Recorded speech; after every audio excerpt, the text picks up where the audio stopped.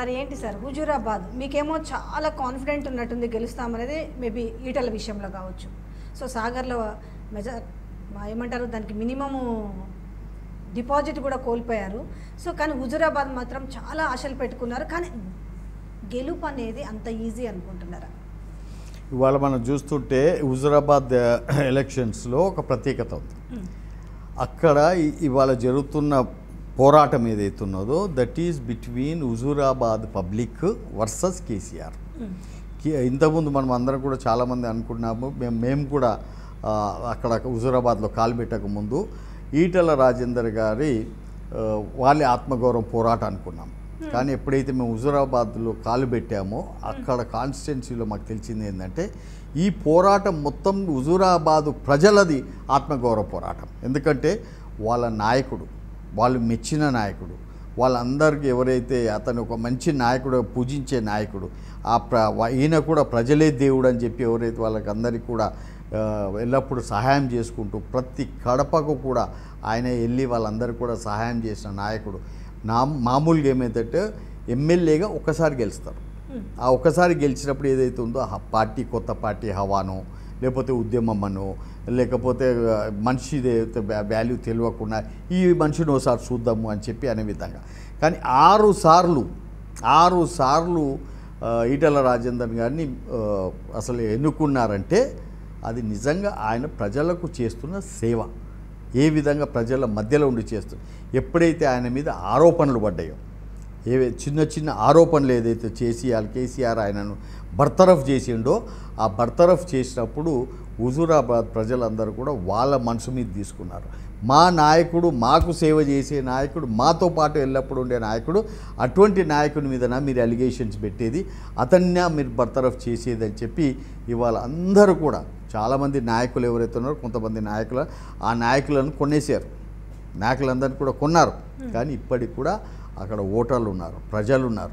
వాళ్ళందరూ కూడా అంటున్నారు మేము సైతం ఇవాళ ఈటల రాజేందర్ తోటి ఉండి పోరాడతామని చెప్పి తెలియజేస్తాం. కానీ ఇప్పటికే కొనుడు షురువు చేసారు అది మీరన్న మాటలు కావచ్చు జనాల్లో కూడా కనిపిస్తుంది. ఇప్పటికే బోల్డ్ అంత డబ్బుని అక్కడ వెచ్చించి వాళ్ళ సర్పంచ్లని వాళ్ళ ఎంపీటీసీలని వాళ్ళే డబ్బులు ఇచ్చి కొనుక్కునే పరిస్థితి కనపడుతున్న ఈ నేపథ్యంలో అంగబలము అధికార బలము అన్నీ ఉన్నాయి. ఈ నేపథ్యంలో గెలుసుడు అనేది చాలా సునాదసమని భావిస్తున్నారా? అమ్మ మీరు ఒకసారి చూశారు. నిజామాబాద్లో ఏమైంది? నిజామాబాద్లో కవితకు రెవెన్యూ ఉంది. వాళ్ళెంబడి పోలీస్ ఉన్నది వాళ్ళ నాయన సీఎం రైట్ ఎన్నో కోట్ల రూపాయలు ఖర్చు పెట్టారు ప్రజలు ఏం జవాబు ఇచ్చిండ్రు? డెబ్బై వేల మెజారిటీ డెబ్బై వేల మెజారిటీతో అరవింద్ గెలవడం జరిగింది. Seventy thousand. కాబట్టి ఎప్పుడు కూడా మీరు వాళ్ళ దగ్గర ఈ పైసలు ఉన్నాయి లేకపోతే వాళ్ళ దగ్గర ఈ రూలింగ్ వాళ్ళు ఉన్నారు వాళ్ళందరి దగ్గర పోలీసు వాళ్ళు ఉన్నారు అవన్నీ అనుకోవద్దు.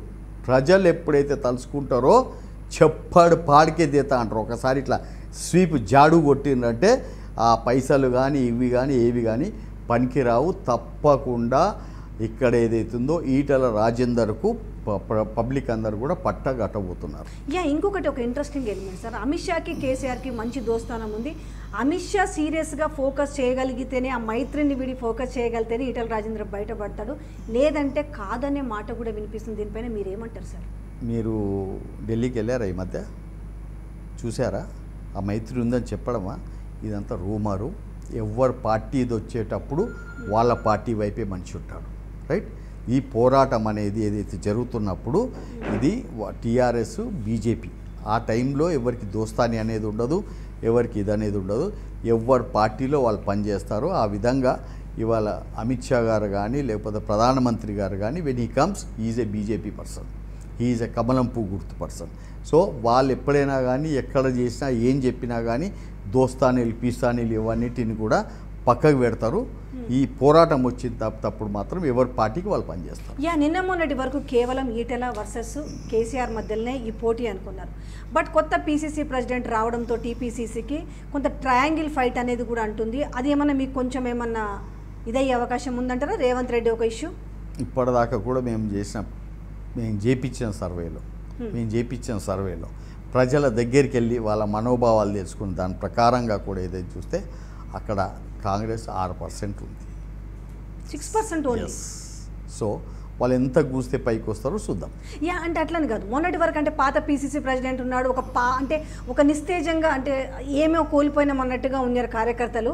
కానీ ఇప్పుడు టీపీసీసీ ప్రెసిడెంట్ రేవంత్ రెడ్డి వచ్చిన తర్వాత కొత్త ఊపు వచ్చింది అనేది మాటలు వినిపిస్తున్నాయి. దాన్ని మీరు ఎప్పుడైనా కానీ మనుషుల మీద మీరు వాల్యూ పెట్టవద్దు మనుషుల మీద ఎప్పుడు కూడా పార్టీలు నడవవు. ఏతుందో ఆ పార్టీ బ్యాక్గ్రౌండ్ ఏంది? ఆ పార్టీ రూట్స్ ఏంది? దాని కా దాని ఇదేంది? అనే దాని మీద ఉంటుంది. వాళ్ళని ఢిల్లీలో చూసిన వాళ్ళ నాయకుడు లేడు గల్లీలో చూసిన వాళ్ళకి నాయ నాయకుడు లేడు. ఏ ఒక్క మనిషి వస్తే వచ్చి ఉద్ధరిస్తాడంటే మేము ఎవరం నమ్మం. ఎందుకంటే ఇవన్నీ కూడా నేషనల్ పార్టీస్ ఏవైతే ఉంటాయో they are all built parties. They are all made parties. మంది వస్తారు మంది పోతుంటారు. అంతలో మాత్రం ఇది ఏం కాదు. కాబట్టి డోంట్ ఎక్స్పెక్ట్ దట్ ఒక మనిషి వచ్చేసాడు కాబట్టి ఆ మనిషి ఏదైతే మొత్తం మా వాతావరణాన్ని మార్చేస్తాడు అనేది చాలా అంటే ఏం ఉండదంటారు ఊహ. ఇన్ఫాక్ట్ ఇప్పుడు గౌడ సామాజిక వర్గానికి సంబంధించిన వ్యక్తిని పొన్నం ప్రభాకర్ లాంటి వ్యక్తిని అక్కడ హుజూరాబాద్లో క్యాండిడేట్గా నిలబెట్టాలని ఒక ఆలోచనలు చేస్తున్నాడు పాడి కౌశిక్ రెడ్డిని తప్పించి. ఎంతో కొంత అంటే సామాజిక వర్గ నేపథ్యంలో అంటే అక్కడ కూడా చాలా ఎక్కువ ఉన్నట్టు అనుకుంటా గౌడ సామాజిక వర్గం హుజూరాబాద్లో. ఈ నేపథ్యంలో కొంత ఏమన్నా చేంజెస్ వచ్చే అవకాశం? ఇవాళ మీకు ఏం చెప్పాను నేను ఇవాళ ప్రజలందరూ కూడా బ్రహ్మరథం పట్టినరు హుజూరాబాదు ప్రజలందరూ కూడా ఈటల రాజేందర్కు జరిగిన అన్యాయం. మేము మాకు అవమానం జరిగింది అనే విధంగా మేము చూస్తాం. ఆరు సార్లు మేము గెలిపించుకున్నాం ఒక నాయకుడిని ఆయన ఇప్పటిదాకా కూడా ఎక్కడ తప్పు చేయలేదు. ఇంకా కూడా ముందలు చేయడని చెప్పి కూడా మాకు నమ్మకం ఉన్నది. కాబట్టి అటువంటి నాయకుని ఎదురుగా ఇంకే నాయకుడు నిలబడే ప్రసక్తి లేదు. సో ఇప్పుడు ఈ హుజురాబాద్ ఎలక్షన్ బేస్ చేసుకుని నిజంగానే బీజేపీ తరపు నుంచి క్యాండిడేట్ ఈటెల రాజేందర్ గెలుపొందితే రాజకీయ సమీకరణాలు ఎట్లుండబోతాయి? కాంగ్రెస్ పార్టీ నుంచి అసంతృప్తులు. ముఖ్యంగా అయితే కోమటిరెడ్డి బ్రదర్స్ పేరు చాలా స్పష్టంగా వినిపిస్తుంది. ఒకవేళ మీ వైపు వచ్చే ఏమైనా సూచనలు కనిపిస్తున్నాయా? అమ్మ నువ్వు యాక్చువల్లీ విలేకరు అయ్యే బదులు ఫార్చ్యూన్ టెల్లర్ కావాల్సి ఉంటుంది ఎవరు? ఫార్చ్యూన్ టెల్లర్ అంటే ఎవరిదైతే ముందల జాతకం ఎట్లుంటుంది ఏమవుతుంది ఏం ఏ విధంగా ముందర కాబోతుంది ఏంది అని అనే దానిని మీరు చెప్పింటే బాగుండేది. ఎందుకంటే మాకే ఆ ఊహ లేదు. ఎందుకంటే వాళ్ళు వస్తారా రా రా పోరా? వాళ్ళకు కూడా ఆలోచన ఉందో లేదో మాకు అందరు తెలియదు అవన్నీ ఏదైతుందో ఓన్లీ మీరు క్రియేట్ చేసిందే. ఓన్లీ మీడియా క్రియేట్ చేసిందే. ఈ never came and join our మేము ఎప్పుడు చేస్తాం? రాజకీయంలో ఏముంటుందంటే cup to lip lip to cup అంటారు. మీ దగ్గర ఛాయ్ తాగుతుంటే ఇక్కడికి వచ్చిన తర్వాత కూడా అది ఒలికిపోవచ్చు కంప్లీట్ మేము నమ్మేది ఎప్పుడంటే ఆయన వచ్చి ఈ కండువ వేసుకుంటాం ఈ కండువ వేసుకొని మా పార్టీలకు వచ్చినాడు మేము నమ్ముతాం. చాలా ఊహాగానాలు చాలా కథలు చాలా రాహుల్ గాంధీ కూడా భారతీయ జనతా పార్టీలో జాయిన్ అవుతున్నాడు అని కూడా ఊహలు వచ్చినాయి. నమ్ముతారా మీరు? మరి ఎట్లా ఎందుకు కాదు? ఎందుకు కాదు? ఇప్పుడు మీరు తెలియంది పాపం ఆయన కోమటిరెడ్డి రాజగోపాల్ కానీ ఈయన కానీ వెంకటరెడ్డి కానీ ఇప్పటికీ అనుకున్నారో లేదో తెలియదు కానీ మీరు చెప్తున్నారు కదా. అట్లా నాకు కూడా తెలిసింది. రాహుల్ గాంధీ ఏదైతుందో ఈ కండు వేసుకుంటాడు ఈ కండు వేసుకుంటాడు. ఓకే? మంచి ఆన్సర్ సరే ఇంకొకటి. అది ఇది పెద్ద జోక్ అన్నట్టు. ఏది? రాహుల్ గాంధీ బీజేపీ కావచ్చమ్మా ఎనీథింగ్ ఈజ్ పాసిబుల్ మీరు చెప్తున్న పాసిబుల్ కావచ్చు మేము చెప్పాం కాకూడదా? మీరు చెప్పిందేమో ఫార్చ్యూన్ టెల్లర్ మీకు చెప్పినట్టు ఈ జ్యోతిష్యం మీకే కొంచెం దగ్గరగా రిలవెంట్గా చెప్తా అన్నట్టు. అట్లా ఇప్పుడు మేము కూడా అదే చెప్తున్నాం కదా.